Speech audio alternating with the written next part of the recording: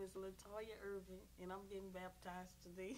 Baptism means a lot to me because God died on the cross for me and took all away my sins and cleansed me.